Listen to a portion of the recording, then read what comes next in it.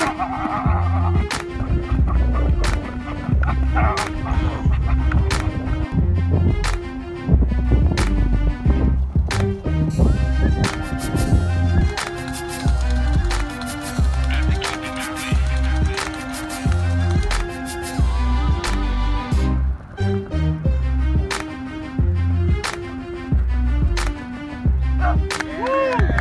up guys? It's Luis Padillo Jr second challenge.